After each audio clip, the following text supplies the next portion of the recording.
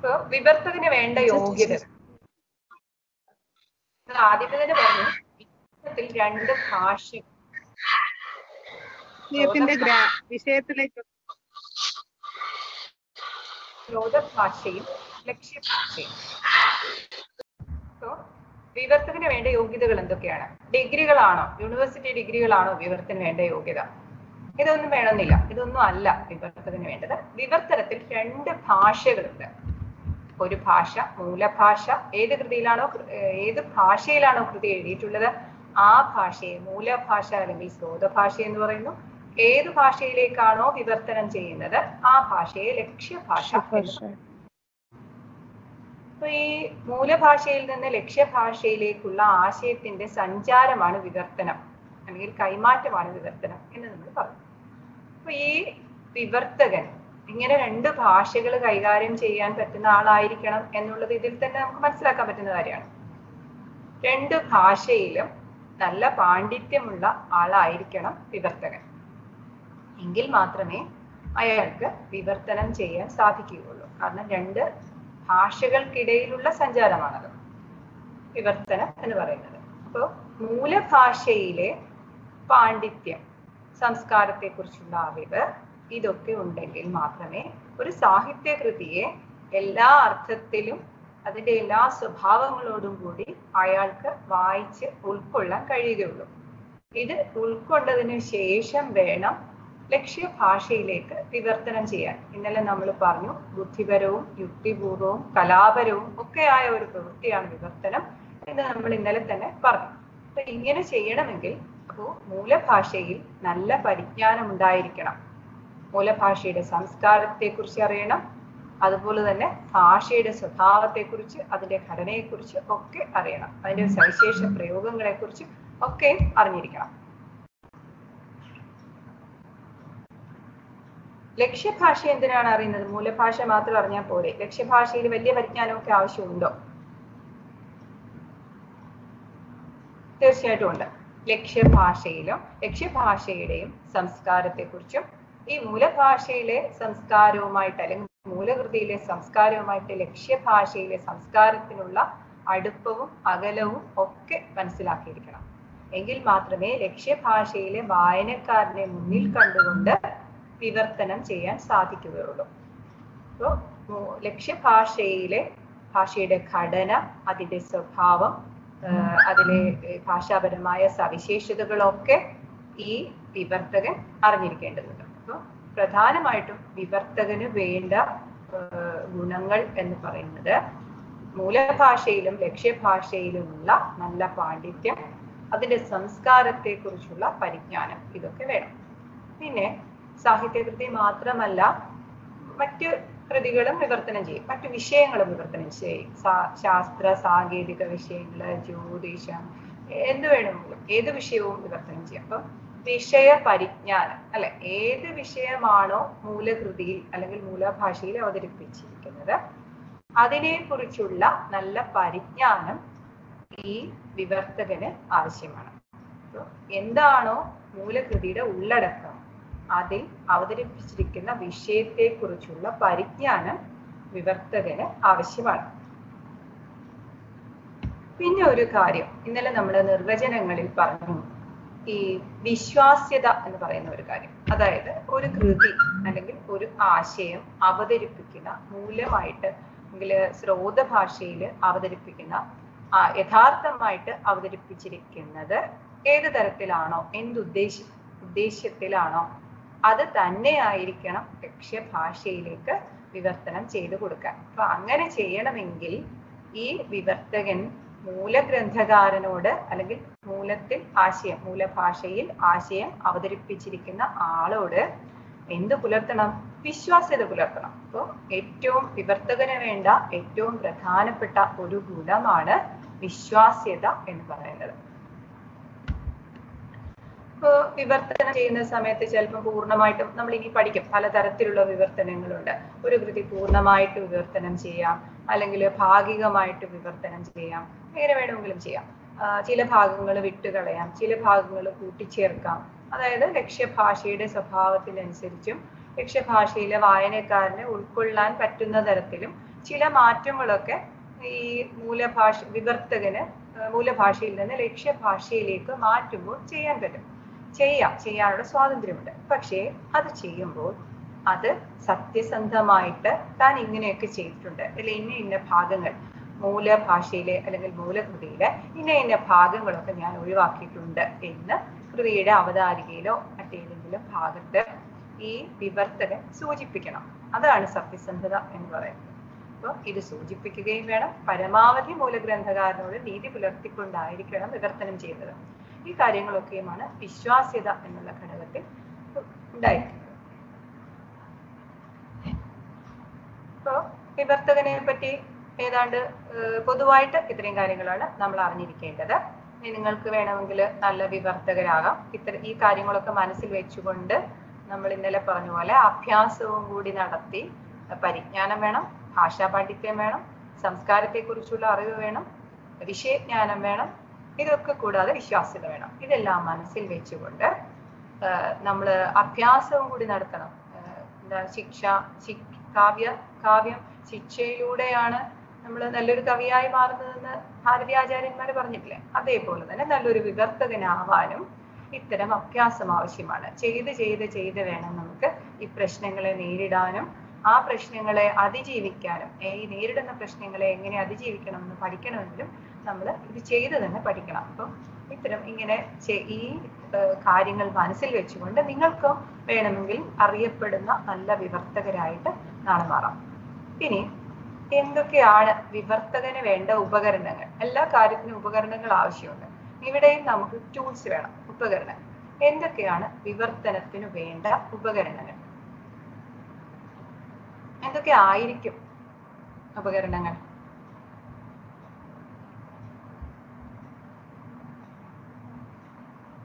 ഒന്ന് സംസാരിക്കും. ആദ്യത്തേത് മൂലകൃതിയാണ്. ആദ്യത്തേത് മൂലകൃതി. ആ. നിഘണ്ടു വേണം. നിഘണ്ടു. അതൊക്കെ നമുക്ക് വേണ്ട കാര്യങ്ങൾ നമ്മൾ പറഞ്ഞു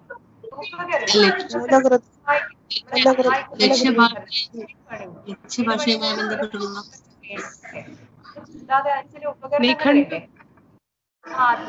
നിഘണ്ടു വേണം. അല്ലെ? വേണം പലതരത്തിലുള്ള നിഘണ്ടുക്കൾ ഏത് തരത്തിലുള്ള നിഘണ്ടുക്കൾ നിഘണ്ടു എന്ന് പറയുമ്പോൾ വാക്ക് വാക്കിന്റെ അർത്ഥം ഇതൊക്കെ സൂചിപ്പിക്കുന്ന സാധാരണ നമ്മൾ നിഘണ്ടു. വിഭാഷ അല്ലെ? വിഭാഷ. ഈ ഭാഷ. അപ്പോ നിഘണ്ടുക്കൾ വേണം. ദ്വിഭാഷ നിഘണ്ടു വേണം. രണ്ട് ഭാഷയിലാണല്ലോ വിവർത്തനം പ്രധാനമായിട്ടും നമ്മൾ ചെയ്യുന്നത്. അപ്പൊ മൂലഭാഷയിലും ലക്ഷ്യഭാഷയിലുമുള്ള നിഘണ്ടു വേണം. അതുപോലെ തന്നെ പിന്നെ എന്ത് വേണം? ആ വാക്ക് വാക്കിന്റെ അർത്ഥം അതൊക്കെ സൂചിപ്പിക്കുന്ന നിഘണ്ടു. ഇത് കൂടാതെ പര്യായ നിഘണ്ടു. ഒരു വാക്കിന് തന്നെ പല അർത്ഥങ്ങൾ ഉണ്ടാവാം അല്ലെ? പല പല എന്താ ഒരു വാക്ക് നമ്മളിപ്പം ആകാശം ആകാശത്തിന് തന്നെ എന്തൊക്കെ പറയും? ആകാശത്തിന് വേറെ പല പേരുകളും ഉണ്ട് അല്ലെ? അപ്പൊ ഈ പല പേരുകളും പലതരത്തിൽ സാന്ദർഭികമായിട്ട് ഉപയോഗിക്കാം. കടൽ ആകാശം അതുപോലെ തന്നെ മഴ ഓരോന്നിനും പര്യായങ്ങളുണ്ട്. ഈ പര്യായങ്ങളെ സൂചിപ്പിക്കുന്ന നിഘണ്ടുവും വേണം. അതുപോലെ തന്നെ നാനാർത്ഥ നിഘണ്ടു ഇതൊക്കെ വേണം തെസാറസ് വാക്കിനെ കുറിച്ചുള്ള വാക്ക് ഒരു ഒരേ ആശയത്തെ ഒരു കേന്ദ്രീകൃത ആശയത്തെ സൂചിപ്പിക്കാൻ വേണ്ടിയിട്ട് ഒരു ഭാഷയിൽ വിവിധ രൂപങ്ങൾ വിവിധ പദങ്ങൾ ഉണ്ടാവും ഇത് ഇതിനെയാണ് തെസ്സാറസ് എന്ന് പറയുന്നത്. നിഘണ്ടുവിന്റെ തന്നെ മറ്റൊരു രൂപമാണ് തെസ്സാറസ് അതിൽ ഒരു ആശയത്തെ സൂചിപ്പിക്കാൻ പലതരത്തിലുള്ള രൂപങ്ങൾ ഉണ്ടാവും ഒരു വാക്കിൽ പലതരത്തിലുള്ള വാക്കുകളുണ്ടാവും. ഇതിനെ സൂചിപ്പിക്കുന്ന ചുരുങ്ങി ആ- വാക്കുകൾ മാത്രം സൂചിപ്പിക്കും. പിന്നെ നിരുക്തിയെ കുറിച്ച് ഓരോ ഭാഷയിലും വാക്കുകളുടെ നിരുക്തി എങ്ങനെയാണ് അത് ഉത്ഭവിച്ചിരിക്കുന്നത്? അതിന്റെ പ്രയോഗ വ്യത്യാസങ്ങൾ എന്തൊക്കെ വന്നിരിക്കുന്നു? ഇതിനെക്കുറിച്ചൊക്കെ മനസ്സിലാക്കുന്ന തരത്തിലുള്ള നിഘണ്ടുക്കൾ പിന്നെ പ്രാദേശികമായിട്ട് വാക്കുകൾക്ക് പലതരത്തിലുള്ള അർത്ഥങ്ങൾ ഉണ്ടാവാം അല്ലെ? പ്രാദേശിക ശബ്ദ ബോധിനി എന്ന് പറയും.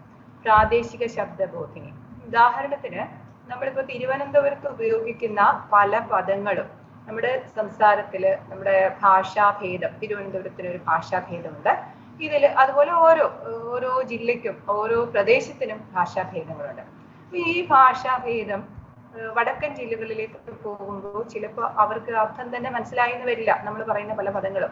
അതുപോലെ തിരിച്ചും അവർ പറയുന്ന പല പദങ്ങളും നമുക്ക് തെക്കോട്ട് വരുമ്പോൾ വേറെ അർത്ഥമായിരിക്കാം അർത്ഥ വ്യത്യാസങ്ങൾ ഉണ്ടായിരിക്കാം അപ്പൊ ഇതൊക്കെ മനസ്സിലാക്കണമെങ്കിൽ പ്രാദേശിക ശബ്ദ ബോധിനി അങ്ങനെയുള്ള പുസ്തകങ്ങളുണ്ട്. പ്രാദേശിക ശബ്ദങ്ങളെ കുറിച്ച് നമുക്ക് മനസ്സിലാക്കി തരുന്ന പുസ്തകങ്ങൾ അപ്പോൾ ഇതിനെയും നമ്മൾ ഉപയോഗിക്കണം. പ്രാദേശിക ശബ്ദ ബോധിനി അതുപോലെ തന്നെ അപശബ്ദ അപശബ്ദ ബോധിനി. അപശബ്ദങ്ങളുണ്ട്. ഭാഷയിലെ തെറ്റായ പ്രയോഗങ്ങളുണ്ട് അപ്പൊ ഈ തെറ്റായ പ്രയോഗങ്ങളെ കുറിച്ചും നമ്മൾ അറിഞ്ഞിരിക്കണം ശരിയായ പ്രയോഗം എന്താണ്?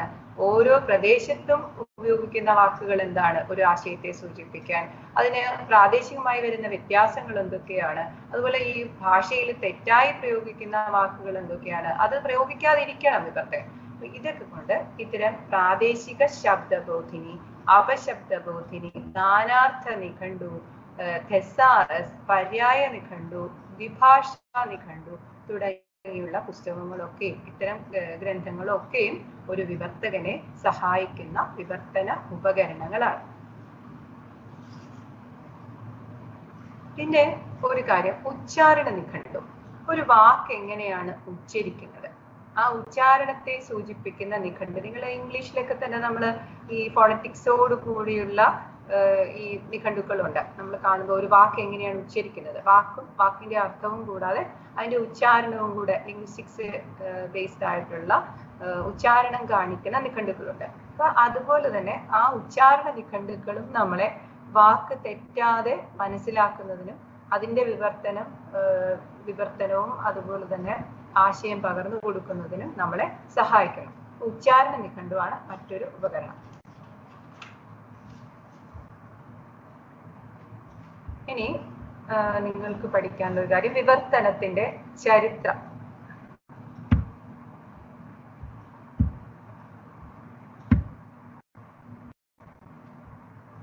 എടുത്തോട്ടെ. സാംസ്കാരിക പ്രാധാന്യം ഇന്നലെ നമ്മൾ പറഞ്ഞു. വിവർത്തനത്തിന്റെ ചരിത്രം.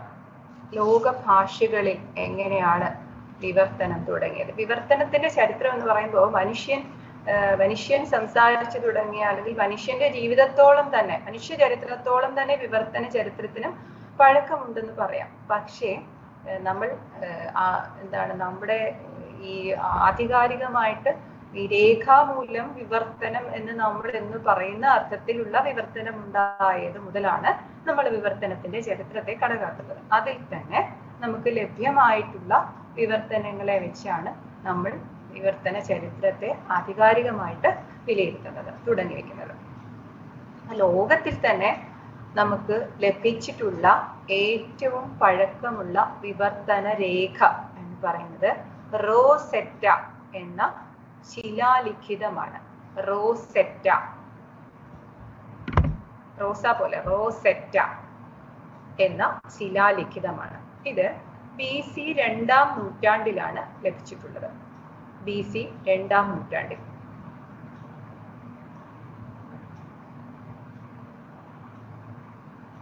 എന്തെങ്കിലും രണ്ടാമത് ഞാൻ പറയേണ്ടതുണ്ടെങ്കിൽ നിങ്ങളൊന്ന് അൺമ്യൂട്ട് ചെയ്തിട്ട് ഇങ്ങോട്ട് ആവശ്യപ്പെട്ടാൽ മതി.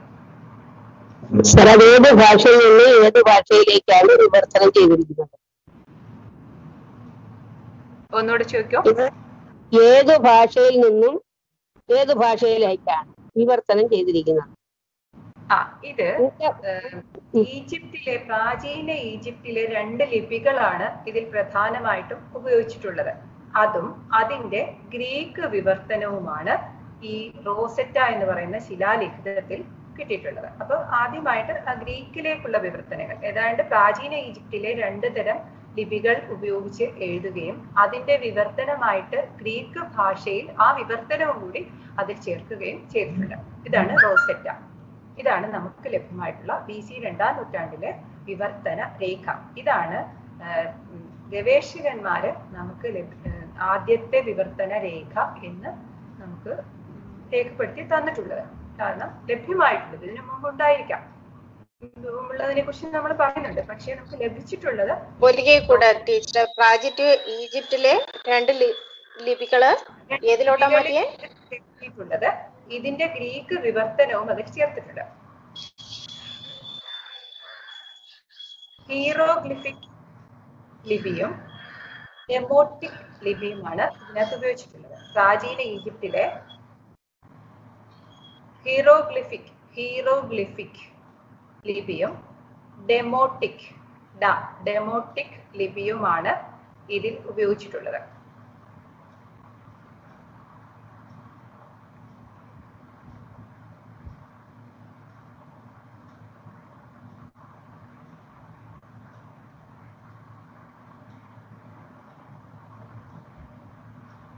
ഓക്കെ മാം എഴുതി.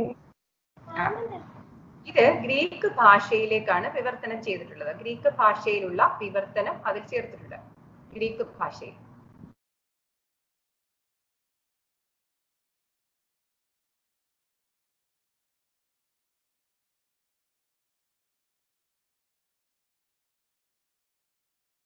ഓക്കെ ടീച്ചറെ കണ്ടിന്യൂ ക്രിസ്തുവിന് മുമ്പ് അസീറിയ ഭരിച്ചിരുന്ന സാർഗോൺ ചക്രവർത്തിയുടെ വീരകൃത്യങ്ങൾ. അദ്ദേഹത്തിന്റെ സദസ്സിലെ ബഹുഭാഷാ പണ്ഡിതന്മാരുണ്ടായിരുന്നു. പണ്ട് തന്നെ ചക്രവർത്തിമാരുടെ സദസ്സിലൊക്കെ ഭാഷാ പണ്ഡിതന്മാരുണ്ടായിരുന്നു. ഭാഷയ്ക്ക് ഇപ്പോഴത്തേക്കാൾ അധികം പ്രാധാന്യം ഈ ഭാഷാ പണ്ഡിതന്മാർക്ക് പണ്ട് രാജാക്കന്മാരെ കൊടുത്തിരുന്നു. അപ്പോ ഈ ഭാഷാ പണ്ഡിതന്മാര് ബഹുഭാഷാ പണ്ഡിതന്മാര് അസീറിയ ഭരിച്ചിരുന്ന സാർഗോൺ ചക്രവർത്തിയുടെ വീരകൃത്യങ്ങൾ പല ഭാഷകളിലേക്കും വിവർത്തനം ചെയ്തിട്ടുണ്ടായിരുന്നു. അതുപോലെ തന്നെ ക്രിസ്തുവിന് ഏതാണ്ട് ഒരു രണ്ടായിരത്തി ഒരുന്നൂറ് വർഷം മുമ്പ് ബാബിലോണിയ ഭരിച്ചിരുന്ന ഹമുറാബിയുടെ ശിലാലിഖിതങ്ങൾ ഹമുറാബിയുടെ ശിലാലിഖിതങ്ങൾ ശിലാശാസനങ്ങൾ പല ഭാഷകളിൽ വിവർത്തനം ചെയ്തിട്ടുണ്ടായിരുന്നു. ഹമുറാബിയുടെ ശാസനങ്ങൾ. പല ഭാഷകളിലേക്കും വിവർത്തനം ചെയ്തിട്ടുണ്ടായിരുന്നു.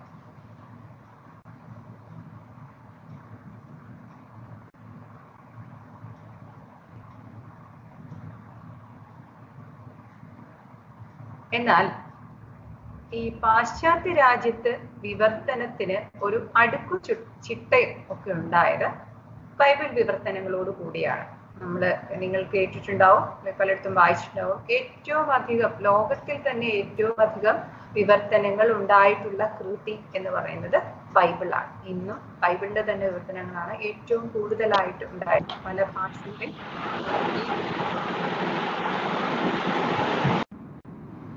ഒക്കെ വിവർത്തനം ചെയ്തിട്ടുള്ളത് ബൈബിളാണ് ലോകത്തിൽ തന്നെ ഏറ്റവും അധികം വിവർത്തനം ചെയ്യപ്പെട്ട കൃതിയാണ് ബൈബിൾ. അപ്പോ ഈ ബൈബിളിന്റെ വിവർത്തനത്തോടു കൂടിയാണ് പാശ്ചാത്യ രാജ്യത്തെ വിവർത്തനത്തിന് ഒരു അടുക്കും ചിട്ടയും ഒക്കെ ഉണ്ടായത്.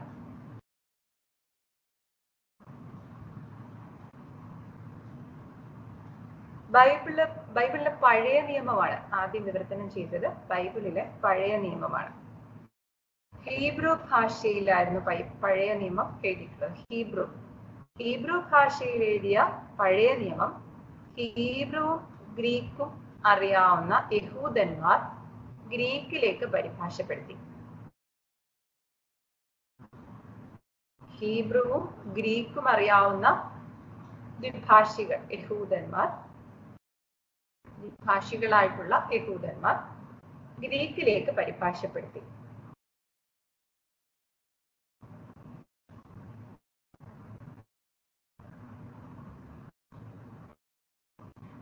ഏതാണ്ട് ക്രിസ്തുവിനെ രണ്ടോ മൂന്നോ നൂറ്റാണ്ടുകൾക്ക് മുമ്പ് തന്നെ ഈ ഗ്രീക്കിൽ ഉണ്ടായിരുന്ന പല പ്രസിദ്ധമായ ഗ്രന്ഥങ്ങളും ലാറ്റിനിലേക്ക് പരിഭാഷപ്പെടുത്തിയിരുന്നു.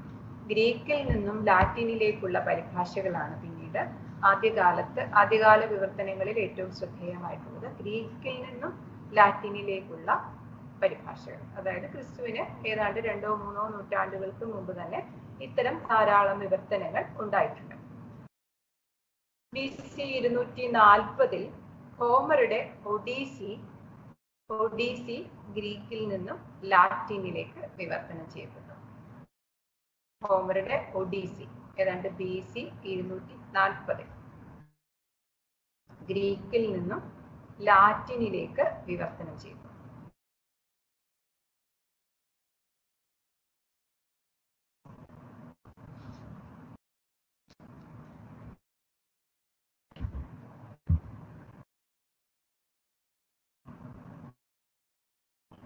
ഇതൊക്കെയും തികഞ്ഞ ഉൾക്കാഴ്ചയുള്ള വിവർത്തനങ്ങളായിരുന്നു. ഈ ആദ്യകാല വിവർത്തനങ്ങളൊക്കെ തന്നെ നല്ല ഉൾക്കാഴ്ചയോടുകൂടി ഭാഷാ പണ്ഡിതന്മാർ ചെയ്ത വിവർത്തനങ്ങളായിരുന്നു.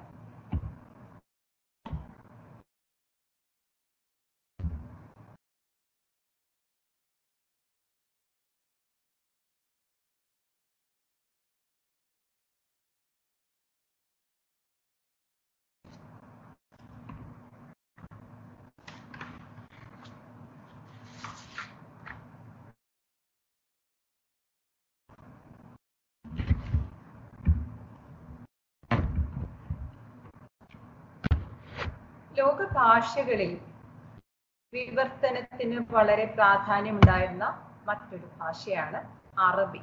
ആദ്യകാല വിവർത്തനങ്ങൾ ഗ്രീക്കിൽ നിന്നും ലാറ്റിനിലേക്കാണ് നടന്നത്. അതിനുശേഷം മറ്റൊരു പ്രധാനപ്പെട്ട ഭാഷ വിവർത്തനത്തിന് മീഡിയേറ്റർ ആയിട്ട് നിന്ന ഒരു മധ്യവർത്തിയായി നിന്ന ഒരു ഭാഷ എന്ന് പറയുന്നത് അറബിയായിരുന്നു അറബി.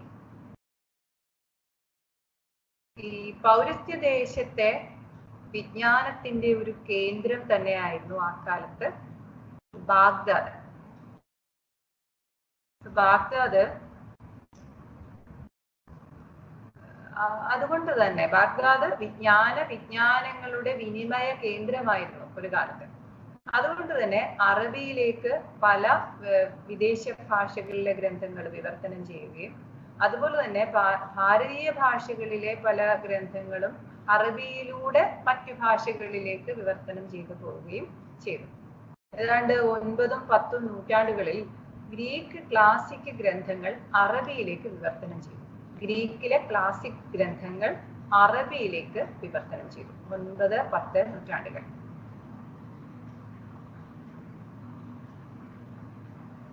പിന്നീട് ഭാരതത്തിലെ പല പ്രാചീന ഗ്രന്ഥങ്ങളും അറബിയിലേക്ക് വിവർത്തനം ചെയ്യുകയും അറബിയിൽ നിന്ന് അത് മറ്റു പല ഭാഷകളിലേക്കും പാശ്ചാത്യ ഭാഷകളിലേക്കും ഒക്കെ വിവർത്തനം ചെയ്തു പോവുകയും ചെയ്തു. അപ്പോൾ ഇവിടെ ഒരു മധ്യവർത്തിയായിട്ട് നിന്നത് ഒരു കാലത്ത് ഏതാണ്ട് ഒൻപത് പത്ത് നൂറ്റാണ്ടുകളിൽ നമ്മുടെ വിവർത്തനത്തിൽ വലിയൊരു പങ്ക് വഹിക്കാൻ സാഹിത്യകൃതികളുടെ വിവർത്തനത്തിൽ വലിയൊരു പങ്ക് വഹിക്കാൻ മധ്യവർത്തിയായിട്ട് നിന്നത് അറബി ഭാഷയാണ് എന്നുള്ളത് നമ്മൾ സ്മരിക്കേണ്ടതാണ്. ഇങ്ങനെ നമ്മുടെ സംസ്കാരത്തിലെ അല്ലെങ്കിൽ സംസ്കൃത സാഹിത്യത്തിലെ പഞ്ചതന്ത്രം എന്ന് പറയുന്ന കൃതി വിദേശ ഭാഷകളിലേക്ക് അറബിയിലൂടെയാണ് വിവർത്തനം ചെയ്തു പോയത്. ആദ്യം അറബിയിലേക്കും അത് കഴിഞ്ഞ് അറബിയിൽ നിന്ന് മറ്റ് വൈദേശിക ഭാഷകളിലേക്കും വിവർത്തനം ചെയ്യപ്പെട്ട ഒരു പ്രധാനപ്പെട്ട കൃതിയാണ് പഞ്ചതന്ത്രം.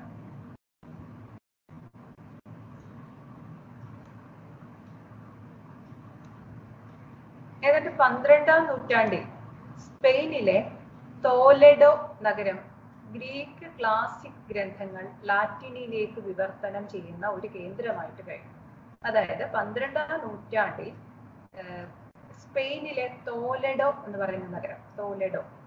അവിടെ ഒരു വിവർത്തന കേന്ദ്രമായിരുന്നു. വിവർത്തനം നടത്താനുള്ള ഒരു പ്രത്യേക സ്ഥലം. വിവർത്തന കേന്ദ്രമായിട്ട് ഈ തോലെഡോ നഗരം മാറി പന്ത്രണ്ടാം നൂറ്റാണ്ടിൽ. അവിടെ അവർ ചെയ്തത് ഗ്രീക്ക് ക്ലാസിക് ഗ്രന്ഥങ്ങൾ ലാറ്റിനിലേക്ക് വിവർത്തനം ചെയ്യുകയാണ്. നമ്മൾ നേരത്തെ തന്നെ പറഞ്ഞു ഗ്രീക്കിൽ നിന്നുള്ള ഗ്രീക്കിൽ നിന്ന് ലാറ്റിനിലേക്കുള്ള വിവർത്തനങ്ങളാണ് ആദ്യകാലത്ത് നടന്നതെന്ന് പറയുന്നു. അപ്പൊ ഈ പന്ത്രണ്ടാം നൂറ്റാണ്ടിലും സ്പെയിനിൽ തോലെഡോ നഗരത്തിൽ വെച്ച് വളരെ വലിയ തോതിൽ ഗ്രീക്ക് ക്ലാസിക് ഗ്രന്ഥങ്ങളെ ലാറ്റിനിലേക്ക് വിവർത്തനം ചെയ്തു. അതുപോലെ തന്നെ ഈ പതിമൂന്നാം നൂറ്റാണ്ടിലുണ്ടായ പല യൂണിവേഴ്സിറ്റികളും. യൂറോപ്പിൽ പതിമൂന്നാം നൂറ്റാണ്ടിൽ ഒരു വിജ്ഞാന വിസ്ഫോടനം തന്നെ സംഭവിച്ചു. ഒരു വിജ്ഞാന തൃഷ്ണയുടെ കാലഘട്ടമായിരുന്നു പതിമൂന്നാം നൂറ്റാണ്ട്. ആ കാലഘട്ടത്തിൽ പാരീസ് പാതുവ നേ നേപ്പിൾസ് ഓക്സ്ഫോർഡ് തുടങ്ങിയ യൂണിവേഴ്സിറ്റികളിൽ സർവകലാശാലകൾ ഉണ്ടാവുകയും അവിടെ ലാറ്റിനിലും ഗ്രീക്കിലുമുള്ള കൃതികൾ പഠിപ്പിക്കുകയും ചെയ്തു. അപ്പോൾ ഇങ്ങനെ ചെയ്യണമെങ്കിൽ ലാറ്റിനിൽ നിന്ന് ഗ്രീക്കിലേക്കും ഗ്രീക്കിൽ നിന്ന് ലാറ്റിനിലേക്കും അതുപോലെ മറ്റു പല ഭാഷകളിൽ നിന്ന് ഈ ഭാഷകളിലേക്കും ഒക്കെ കൃതികളുടെ വിവർത്തനം ആ സമയത്ത് നടന്നിട്ടുണ്ട്. അപ്പൊ വിവർത്തനത്തിന് വലിയ ഒരു പങ്കുണ്ടായിരുന്ന കാലഘട്ടമാണ് ഈ പതിമൂന്നാം നൂറ്റാണ്ട്. അവിടെ യൂറോപ്യൻ രാജ്യങ്ങളിൽ ഇത്തരം സർവകലാശാലകൾ ഉണ്ടായതോടുകൂടി അവിടെ പഠിപ്പിക്കുന്നത് ഗ്രീക്കിലെയും ലാറ്റിനിലെയും പുസ്തകങ്ങളായിരുന്നു. അപ്പൊ ആ ഭാഷകൾക്കിടയിലും മറ്റു പല ഭാഷകളിൽ നിന്ന് അങ്ങോട്ടും ഒക്കെയുള്ള വിവർത്തനങ്ങൾക്ക് ആ സമയത്ത് വളരെയധികം പ്രാധാന്യം ഉണ്ടായി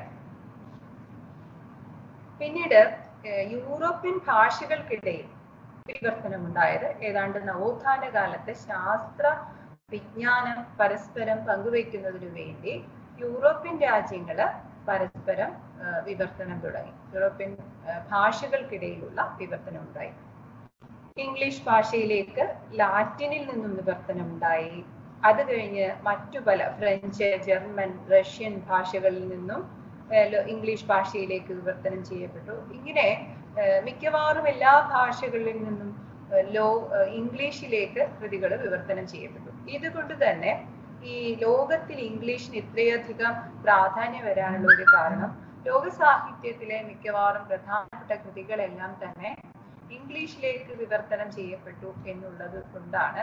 ഇംഗ്ലീഷ് ഭാഷയ്ക്ക് ഇത്രയധികം പ്രാധാന്യം വന്നത്. അത് ഒരു ബ്രിട്ടീഷ് ഭരണകാലത്തൊക്കെ തന്നെ എല്ലാ സ്ഥല എല്ലാവർക്കും പരിചയമുള്ള എല്ലാവരെയും പരസ്പരം ബന്ധിപ്പിക്കുന്ന ഭാഷ എന്നുള്ള തരത്തിൽ ഇംഗ്ലീഷ് വരാൻ പറ്റിയല്ലോ. അപ്പോൾ ഇംഗ്ലീഷിലേക്ക് ഉണ്ടായ വിവർത്തനങ്ങളിലൂടെയാണ് മറ്റു പല ഭാഷകളിലേക്കും വിവർത്തനം അല്ലെങ്കിൽ സാഹിത്യ കൃതികൾ വിവർത്തനം ചെയ്യപ്പെട്ടത്. ഇംഗ്ലീഷ് വഴിയാണ്. നമുക്ക് തന്നെ അറിയാം നമുക്ക് കിട്ടിയിട്ടുള്ള പല ഇപ്പം ലേ മിറാബിലേക്ക് നമ്മൾ ഇന്നലെ പറഞ്ഞു. ഫ്രഞ്ചിൽ നിന്ന് അത് ഇംഗ്ലീഷ് വഴി നമുക്ക് മലയാളത്തിലേക്ക് വരുന്നു. അതുപോലെ തന്നെ നമ്മുടെ ഉം, ടാഗോറിന്റെ ഇവിടെ ഇന്ത്യൻ ഭാഷകളുടെ കാര്യം പറയാൻ ടാഗോറിന്റെ ഗീതാഞ്ജലി ഏർ ടാഗോർ എഴുതിയത് ഏർ ഏത് ഭാഷയിലാണ് ഗീതാഞ്ജലി എഴുതിയത്? അറിയാമോ? ബംഗാളി ഭാഷയിൽ ബംഗാളി. ഭാഷയിൽ എഴുതിയ ഗീതാഞ്ജലി അത് ഇംഗ്ലീഷിലേക്ക് വിവർത്തനം ചെയ്യപ്പെട്ടിട്ട് ഹിന്ദിയിലേക്ക് വിവർത്തനം ചെയ്യപ്പെട്ടിട്ടുണ്ട് അപ്പൊ ഇങ്ങനെ ഇംഗ്ലീഷ് വഴിയാണ് ലോകം മുഴുവൻ ടാഗോറിന്റെ ഗീതാഞ്ജലിയെ അറിയുന്നത്. അല്ലാതെ ബംഗാളി വഴിയല്ല. അതുപോലെ നമ്മുടെ മാധവിക്കുട്ടിയുടെയൊക്കെ തന്നെ മാധവിക്കുട്ടി ഇംഗ്ലീഷ് എഴുതിയിട്ടുണ്ട്. അതുപോലെ തകഴിയുടെ തകഴിയുടെയും ഒക്കെ തന്നെ കൃതികൾ നമ്മുടെ ഇവിടുത്തെ പ്രസിദ്ധരായിട്ടുള്ള പല എഴുത്തുകാരുടെയും കൃതികൾ വിവർത്തന ഇംഗ്ലീഷ് വിവർത്തനങ്ങളിലൂടെയാണ് ലോകം അറിയുന്നത്. ഒ വി വിജയന്റെ ഗ്രന്ഥങ്ങൾ അതുപോലെ തന്നെ മുകുന്ദന്റെ തകഴിയുടെ ഒക്കെ അറിയപ്പെടുന്ന എം ജിയുടെ ഒക്കെ ഗ്രന്ഥങ്ങൾ ഇവിടെ വളരെ പ്രസി- പ്രസിദ്ധമായിട്ടുള്ള ഗ്രന്ഥങ്ങളെയൊക്കെ ഇംഗ്ലീഷ് ഭാഷയിലെ വിവർത്തനത്തിലൂടെയാണ് ലോകം അറിയുന്നത്. അപ്പൊ അങ്ങനെ എല്ലാ എല്ലാവരെയും ബന്ധിപ്പിക്കുന്ന ഒരു ഭാഷ എന്നുള്ള നിലയിൽ ഇംഗ്ലീഷിലേക്കുള്ള വിവർത്തനത്തിന് വളരെയധികം പ്രാധാന്യമുണ്ട്. ഇംഗ്ലീഷിൽ നിന്നുള്ള വിവർത്തനങ്ങൾ പ്രാദേശിക ഭാഷയുടെയും സാഹിത്യത്തിന്റെയും വളർച്ചയ്ക്ക് വളരെയധികം സഹായിച്ചിട്ടുമുണ്ട്. പിന്നെ ഭാരതീയ ഭാഷകളിലെ വിവർത്തനത്തെ കുറിച്ചാണ് പറയുന്നത്. ഭാരതീയ ഭാഷകളിൽ നമ്മളുടെ ഏറ്റവും ഒരു സാംസ്കാരിക ഭാഷ എന്ന് പറയുന്നത് പ്രാചീന ഭാരതത്തിലെ ഏറ്റവും പ്രധാനപ്പെട്ട കേരളത്തിലെ തന്നെ ഒരു പ്രധാനപ്പെട്ട ഭാഷയായിരുന്നു സാഹിത്യ ഭാഷയായിരുന്നു സംസ്കൃതം എന്ന് പറയുന്നത് അല്ലെ? നമ്മുടെ അടിസ്ഥാനം നമുക്ക് പല ഗ്രന്ഥങ്ങളും കിട്ടിയത് സംസ്കൃതത്തിൽ നിന്നാണ് അപ്പൊ പ്രധാനപ്പെട്ട ഭാരതത്തിലെ സാംസ്കാരിക ഭാഷ എന്ന് പറയുന്നത് ഏത് ഭാഷയായിരുന്നു? സംസ്കൃതമായിരുന്നു. സംസ്കൃതത്തിൽ ധാരാളം ഗ്രന്ഥങ്ങൾ ഉണ്ടായിട്ടുണ്ട്. പുരാണങ്ങളും വേദം ഉപനിഷത്ത് ഇങ്ങനെ ധാരാളം ഗ്രന്ഥങ്ങൾ നാടകം എല്ലാം ഉണ്ടായിട്ടുണ്ട്. അപ്പൊ ഇത്തരം ഗ്രന്ഥങ്ങൾ സംസ്കൃതത്തിലാണ് ഉണ്ടായിട്ടുള്ളത്. അപ്പൊ ഈ സംസ്കൃതത്തോളം തന്നെ പഴക്കമുള്ള മറ്റൊരു ഭാഷ എന്ന് പറയുന്നത് വേറെ ഏതാണ്? നമ്മുടെ ഈ ദ്രവീഡിയൻ ഭാഷ തമിഴ്. തമിഴാണ്. അതെ. പഴക്കവും പാരമ്പര്യവും ഒക്കെ ഉള്ള ഭാഷയാണ് തമിഴ്. അപ്പൊ ഈ തമിഴിൽ ധാരാളം ഗ്രന്ഥങ്ങൾ ഉണ്ടായിരുന്നു ഗണിതശാസ്ത്രം ജ്യോതിഷം തുടങ്ങി പല വിഷയങ്ങളെ കുറിച്ചുള്ള ഗ്രന്ഥങ്ങൾ തമിഴിൽ ഉണ്ടായിരുന്നു. അപ്പോ വൈദ്യശാസ്ത്രം തുടങ്ങിയ വിഷയങ്ങളിലൊക്കെ ഉണ്ടായിരുന്നു ഗ്രന്ഥങ്ങൾ ഇതിൽ നിന്നൊക്കെ ആശയങ്ങൾ നമ്മൾ സ്വീകരിച്ചിട്ടുണ്ടായിരുന്നു. പക്ഷേ ഈ ഇങ്ങനെയൊക്കെ ഉണ്ടെങ്കിലും ആദ്യകാലത്ത് സംസ്കൃതത്തിലേക്ക് ഈ തമിഴിൽ നിന്നോ മറ്റ് ഭാഷകളിൽ നിന്നോ ഒന്നും വിവർത്തനം സംസ്കൃതത്തിലേക്ക് ആരും ചെയ്തിരുന്നില്ല. സംസ്കൃതത്തിൽ ഒരുപാട് കാര്യങ്ങളുണ്ട്. ക്ലാസിക് ആയിട്ട് അവരങ്ങനെ നിൽക്കുകയായിരുന്നു.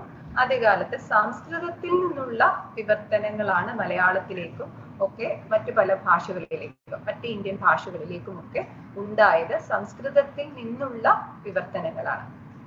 സംസ്കൃത സാഹിത്യത്തിലെ മിക്കവാറും എല്ലാ ഗ്രന്ഥങ്ങളും പ്രധാനപ്പെട്ട എല്ലാ ഗ്രന്ഥങ്ങളും മലയാളത്തിലേക്ക് വിവർത്തനം ചെയ്തിട്ടുണ്ട്.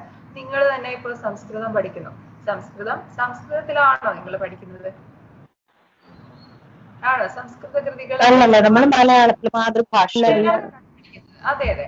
മലയാളത്തിലാണ്. അപ്പൊ സംസ്കൃതം പറഞ്ഞില്ലെങ്കിലും നമ്മൾക്ക് പഠിക്കാൻ പറ്റുന്നത് സംസ്കൃതത്തിന്റെ മലയാള വിവർത്തനങ്ങളിലൂടെയാണ്. അപ്പൊ സംസ്കൃതത്തിലെ അതുപോലെ തന്നെ വേദോപനിഷത്തുകളൊക്കെയും നമ്മൾ വായിക്കാറുണ്ട്. അതൊക്കെയും ഒന്നും തന്നെ നമ്മൾ സംസ്കൃതം വായിച്ചിട്ടല്ല മിക്കവാറും മലയാളികൾ വായിക്കുന്നത്. സംസ്കൃതം അറിഞ്ഞിട്ടല്ല. മലയാളത്തിൽ തന്നെയാണ് നമ്മുടെ ഭാഷയിൽ തന്നെയാണ്. അപ്പം ഈ സംസ്കൃതത്തിൽ നിന്നങ്ങനെ പ്രധാനമായിട്ടുള്ള വേദം ഉപനിഷത്ത് പ്രധാനപ്പെട്ട നാടകങ്ങൾ ഒക്കെയും നമുക്ക് ലഭിച്ചിട്ടുണ്ട്. എല്ലാം വിവർത്തനം വഴി തന്നെയാണ്. പിന്നീട് പിന്നീടാണ് ഇതും കഴിഞ്ഞൊരു മൂന്നാം ഘട്ടത്തിലേക്ക് വരുമ്പോഴാണ് പാശ്ചാത്യ സമ്പർക്കം കൊണ്ട് വിവർത്തനത്തിന് വളരെ വലിയ ഒരു പുരോഗതി ഉണ്ടായിട്ടുണ്ട് അടുത്ത ഘട്ടത്തിൽ. ഇപ്പൊ ഇവിടെ ഇംഗ്ലീഷ് സാഹിത്യം എല്ലാ വിഷയങ്ങളും ഇംഗ്ലീഷ് സാഹിത്യത്തിൽ നിന്ന് ഇങ്ങോട്ട് വിവർത്തനം ചെയ്തു. പുതിയ സാഹിത്യ രൂപങ്ങൾ നോവൽ ചെറുകഥ തുടങ്ങിയ പല സാഹിത്യ രൂപങ്ങളെയും നമ്മൾ പരിചയപ്പെട്ടത് പല സാഹിത്യ പ്രവണതകളെയും ഒക്കെ തന്നെ നമ്മൾ പരിചയപ്പെട്ടത് വിവർത്തനങ്ങളിലൂടെയാണ്. ഇത് മൂന്നാം ഘട്ടത്തിലാണ് ഈ പാശ്ചാത്യ ഭാഷകളുടെ അല്ലെങ്കിൽ പ്രധാനമായും ഇംഗ്ലീഷ് ഭാഷയിൽ നിന്നുള്ള വിവർത്തനങ്ങൾ വരുന്നത്. അതിനും ശേഷം ഇപ്പൊ നമ്മൾ ഭാരതീയ എന്താണ് മറ്റ് ആ അല്ല അതിന് മുമ്പായിട്ട് അറബി പേർഷ്യൻ ഭാഷകൾ കേട്ടോ അതൊന്ന് പറയാൻ പറ്റുമോ ഈ ഇംഗ്ലീഷ് ഭാഷ വരുന്നതിന് മുമ്പ് തന്നെ അറബി പേർഷ്യൻ ഭാഷകളിൽ നിന്നുള്ള വിവർത്തനങ്ങളായിരുന്നു ഇവിടെ ഉണ്ടായത്. ആദ്യഘട്ടത്തിൽ സംസ്കൃതത്തിൽ നിന്നുള്ള വിവർത്തനങ്ങൾ അതിനുശേഷം അറബി പേർഷ്യൻ ഭാഷകളിൽ നിന്നുള്ള വിവർത്തനങ്ങൾ. ഇതായിരുന്നു കൂടുതലായിട്ട് ഇവിടെ ഉണ്ടായിരുന്നത്.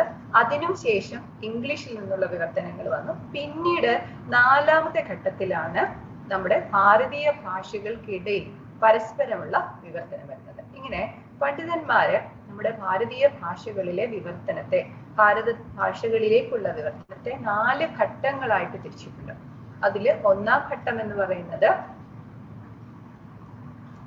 എന്താണ് സംസ്കൃത കൃതികളുടെ വിവർത്തനം തന്നെയാണ് നമ്മൾ നേരത്തെ പറഞ്ഞു. സംസ്കൃത കൃതികളുടെ വിവർത്തനം. സംസ്കൃതത്തിൽ നിന്ന് ഭാരതീയ അതത് പ്രാദേശിക ഭാഷകളിലേക്കുള്ള വിവർത്തനം. അതിനുശേഷം അറബി പേർഷ്യൻ ഭാഷകളിൽ നിന്ന് പ്രാദേശിക ഭാഷകളിലേക്കുള്ള വിവർത്തനം.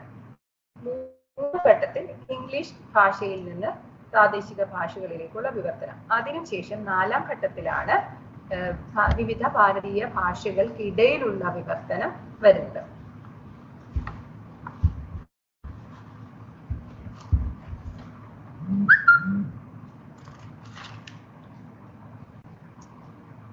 മലയാള വിവർത്തനത്തെ കുറിച്ച് പറയുകയാണെങ്കിൽ മലയാളത്തിൽ നമുക്ക് കിട്ടിയിട്ടുള്ള വിവർത്തന കൃതികൾ ഏറ്റവും മലയാള വിവർത്തനത്തിനും ഏതാണ്ട് നല്ല പ്രാചീനത അവകാശപ്പെടാൻ പറ്റും നമുക്ക് വളരെ പഴക്കമുള്ള വിവർത്തനമാണ് മലയാള വിവർത്തനങ്ങൾ. ആദ്യകാല വിവർത്തനങ്ങൾ മലയാളത്തിൽ ഉണ്ടായിട്ടുള്ളത് സംസ്കൃതത്തിൽ നിന്ന് തന്നെയാണ്. സംസ്കൃതത്തിലെ മലയാളത്തിലേക്ക് വിവർത്തനം ചെയ്യപ്പെട്ടു. പിന്നീട് തമിഴിൽ നിന്നുള്ള ഗ്രന്ഥങ്ങളും അതേപോലെ തന്നെ തമിഴിൽ നിന്നുള്ള ജ്യോതിഷം അതുപോലെ ശാസ്ത്ര വിഷയങ്ങൾ സാഹിത്യ വിഷയങ്ങൾ സാഹിത്യ ഗ്രന്ഥങ്ങൾ ഒക്കെ തന്നെ മലയാളത്തിലേക്ക് വിവർത്തനം ചെയ്യപ്പെട്ടു. പിന്നെ ഈ എങ്ങനെയാണെങ്കിലും തമിഴും സംസ്കൃതവുമാണ് പ്രധാന കാലത്ത് മലയാളത്തിലേക്ക് വിവർത്തനം ചെയ്യപ്പെട്ടിരുന്നു തമിഴിലെയും സംസ്കൃതത്തിലെയും കൃതികളാണ്. എങ്കിലും കൂടുതലായിട്ടും ആദ്യകാലത്ത് വിവർത്തനങ്ങൾ ഉണ്ടായത് സംസ്കൃതത്തിൽ നിന്ന് തന്നെയാണ്. കഥകൾ രാമായണം മഹാഭാരതം ഭാഗവതം പുരാണങ്ങൾ തുടങ്ങിയവയൊക്കെ തന്നെ പൂർണമായിട്ടോ ഭാഗികമായിട്ടോ ആദ്യകാലത്ത് ഇങ്ങോട്ട് വിവർത്തനം ചെയ്തു. നമുക്ക് അറിയാം. നമ്മൾ പഠിക്കുന്ന ആദ്യത്തെ പാട്ടുകൃതി എന്ന് പറയുന്നത്. ഏതാണ് ആദ്യത്തെ പാട്ടുകൃതി? നിങ്ങൾ പഠിച്ച രാമചരിതം. അത് കഴിഞ്ഞ് പിന്നെ രാമചരിതം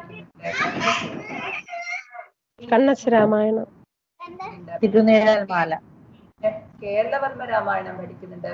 പുന- പുനത്തിന്റെ രാമായണം ശംഭു പഠിക്കുന്നുണ്ട്. ഇതൊക്കെ തന്നെയും പലതരത്തിലുള്ള രാമായണ വിവർത്തനങ്ങളാണ്. അതുപോലെ എഴുത്തച്ഛനൊക്കെ തന്നെ എന്താണ് ഭാരതം കിളിപ്പാട്ട് രാമായണം കിളിപ്പാട്ട് അധ്യാത്മ രാമായണം കിളിപ്പാട്ട് ഇതൊക്കെയും സംസ്കൃതത്തിന്റെ സംസ്കൃത കൃതികളിൽ നിന്ന് അത് വായിച്ച് മനസ്സിലാക്കിയിട്ട് സ്വതന്ത്രമായി ചെയ്ത വിവർത്തനങ്ങളാണ്. അതാണ് പറഞ്ഞത് പലതരത്തിലുള്ളതാണ്. പൂർണ വിവർത്തനമാകാം അല്ലെങ്കിൽ സ്വതന്ത്രമായ വിവർത്തനമായ ഭാഗികമായ വിവർത്തനമാകാം. ഇങ്ങനെ പലതരത്തിൽ മുഴുവൻ കൃതിയെടുത്ത് വിവർത്തനം ചെയ്യാം കുറച്ച് ഭാഗങ്ങൾ എടുത്ത് വിവർത്തനം ചെയ്യാം. ഇപ്പൊ രാമചരിതം നിങ്ങൾ പഠിക്കുമ്പോൾ പറയുന്നുണ്ട്. മുഴുവനാണോ? രാമായണത്തിന് രാമായണം മുഴുവൻ മുഴുവനുണ്ട്. ഈ രാമായണം മുഴുവനാണോ യുദ്ധകാന്ഡം. രാമായണം യുദ്ധകാന്ഡം. ഓരോരുത്തരും ഓരോ കാലഘട്ടത്തിന്റെ ആവശ്യത്തിനനുസരിച്ച് പല കവികളും ചില ഭാഗങ്ങൾ മാത്രം എടുത്ത് വിവർത്തനം ചെയ്യുന്നുണ്ട്. അപ്പം അതാണ് ഞാൻ പറഞ്ഞത്. ചിലപ്പോൾ പൂർണമായ വിവർത്തനമാകാം അല്ലെങ്കിൽ ഭാഗികമായ വിവർത്തനമാകാം. എന്തായാലും പലതരത്തിൽ നമ്മുടെ സംസ്കൃതത്തിലെ ആധികാരികമായിട്ടുള്ള പല ഗ്രന്ഥങ്ങളും വിവർത്തനം ചെയ്ത് നമ്മളിലേക്ക് തന്നിട്ടുണ്ട് അപ്പോ ഈ ഇത്തരത്തിൽ പിന്നെ അതുപോലെ തന്നെ സംസ്കൃതത്തിൽ നിന്നാണ് കൂടുതലായിട്ടുള്ള വിവർത്തനങ്ങൾ വന്നത് അതുപോലെ നമ്മുടെ നാടകത്തിന്റെ ചരിത്രം പരിശോധിക്കുമ്പോൾ തമിഴിൽ നിന്നും സംസ്കൃതത്തിൽ നിന്നും നാടകം നമ്മൾ കണ്ടിട്ടുണ്ട് അല്ലെ? സംഗീത നാടകങ്ങളും മറ്റൊക്കെ തമിഴിനെ അനുകരിച്ച് തമിഴിന്റെ ഒരു ചൂട് പിടിച്ചാണ് നമ്മൾ കൊണ്ടുവന്നത് പക്ഷേ ഈ നമ്മുടെ പ്രധാനപ്പെട്ട നാടകത്തെ കുറിച്ച് പറയുമ്പോൾ നാടക ചരിത്രത്തിലേക്ക് പോകുമ്പോൾ നമ്മൾ ആദ്യമായിട്ട് ഇവിടുന്നാണ് നാടകങ്ങൾ കൊണ്ടുവന്നത്? സംസ്കൃതത്തിൽ നിന്ന് തന്നെയാണ് അഭിജ്ഞാന ശാകുന്തളത്തിലേക്ക് കേരളോർമ്മയുടെ അഭിജ്ഞാന ശാകുന്തള വിവർത്തനമൊക്കെ തന്നെ നമ്മുടെ നാടക സാഹിത്യത്തിന്റെ ചരിത്രത്തിൽ ഒരു വഴിത്തിരിവ് തന്നെ സൃഷ്ടിച്ചു. അപ്പം ഇങ്ങനെ നമ്മുടെ പല സാഹിത്യ രൂപങ്ങളുടെയും വരവ് തുടക്കം പരിശോധിക്കുമ്പോൾ സംസ്കൃത സാഹിത്യത്തിന് വളരെയധികം പ്രാധാന്യം. സാഹിത്യം, നമ്മുടെ മലയാള സാഹിത്യത്തിന്റെ വളർച്ചയിൽ പ്രത്യേകിച്ച് നാടകത്തിന്റെ മലയാള നാടകത്തിന്റെ വളർച്ചയിൽ ഈ സംസ്കൃതത്തിൽ നിന്നുള്ള നാടകങ്ങളുടെ വിവർത്തനത്തിൽ വളരെ വലിയ ഒരു പങ്കുണ്ടെന്ന് നമുക്ക് മനസ്സിലാക്കാൻ കഴിയും. ഇങ്ങനെ എന്താണ് മലയാളത്തിലെയും ഭാരതീയ ഭാഷകളിലെ ഭാരതീയ ഭാഷകൾ മുഴുവൻ ഞാൻ പറഞ്ഞില്ല പ്രധാനമായിട്ടും സംസ്കൃതത്തിൽ നിന്നും തമിഴിൽ നിന്നുള്ള വിവർത്തനങ്ങൾ. അതിന് നമ്മുടെ ഇപ്പോ നമ്മുടെ സംസ്കൃത സാഹിത്യത്തിൽ നിന്നും തമിഴ് സാഹിത്യത്തിൽ നിന്നുമുള്ള വിവർത്തനങ്ങൾക്ക് നമ്മുടെ മലയാള സാഹിത്യ ചരിത്രത്തിൽ വളരെയധികം പ്രാധാന്യമുണ്ട്. ഇതാണ് ഒന്നാമതായിട്ട് നമ്മുടെ എന്താണ് ഭാരതീയ ഭാഷകളിലേക്കുള്ള വിവർത്തനത്തെ ഭാരതീയ ഭാഷകൾക്കിടയിലുള്ള വിവർത്തനത്തെ തുടക്കത്തിൽ ഈ മലയാള സാഹിത്യ വിവർത്തനത്തിന്റെ ചരിത്രത്തിൽ പറഞ്ഞു നിർത്താനുള്ള ഒരു പ്രധാനപ്പെട്ട കാര്യം. നാടക സാഹിത്യത്തെ കുറിച്ച് നമ്മൾ പറഞ്ഞു. അഭി കേരളവർമ്മയുടെ അഭിജ്ഞാന ശാകുന്തള വിവർത്തനം നാടക സാഹിത്യത്തിന്റെ വളർച്ചയിൽ മലയാള നാടക സാഹിത്യത്തിന്റെ വളർച്ചയിൽ വളരെ വലിയ ഒരു പങ്ക് വഹിച്ചു. അതുപോലെ തന്നെ ഭാവഭൂതിയുടെയും ശക്തി ശക്തിഭദ്രന്റെയും ശ്രീഹർഷിന്റെയും ഒക്കെ കൃതികൾ മലയാളത്തിലേക്ക് വിവർത്തനം ചെയ്യപ്പെട്ടു. മഹാഭാരതം ഋഗ്വേദം അർത്ഥശാസ്ത്രം തുടങ്ങിയ കൃതികളും മലയാളത്തിലേക്ക് മൊഴിമാറ്റം ചെയ്യപ്പെട്ടു. സംസ്കൃത ഗ്രന്ഥങ്ങളിൽ അധികം വിവർത്തനം ചെയ്യപ്പെട്ടിട്ടുള്ള ഒരു കൃതിയാണ് പഞ്ചതന്ത്രം. മറ്റു പല ഭാഷകളിലേക്കും ഒരുപാട് വിവർത്തനം ചെയ്യപ്പെട്ട ഒരു കൃതിയാണ് പഞ്ചതന്ത്രം. അതുപോലെ തന്നെ ഋഗ്വേദത്തിന് ധാരാളം വിവർത്തനങ്ങൾ ഉണ്ടായിട്ടുണ്ട്. എന്താണ് ഭഗവത്ഗീത വിവർത്തനങ്ങൾ ഉണ്ടായിട്ടുണ്ട്. ഭാരതം രാമായണം ഒക്കെ ധാരാളം വിവർത്തനങ്ങൾ ഉണ്ടായിട്ടുണ്ട്. ഈ പഞ്ചതന്ത്ര രൂപേണ ശ്രദ്ധിക്കപ്പെടേണ്ട ഒരു കൃതിയാണ് ആദ്യം തന്നെ ഈ പഞ്ചതന്ത്രം വിദേശ ഭാഷയിലേക്ക് വിവർത്തനം ചെയ്തതിനെ കുറിച്ച് നമ്മൾ പറഞ്ഞു. അറബി വഴിയാണ് പഞ്ചതന്ത്രം ആദ്യമായിട്ട് മറ്റു ഭാഷകളിലേക്ക് വിവർത്തനം ചെയ്യപ്പെട്ടത്.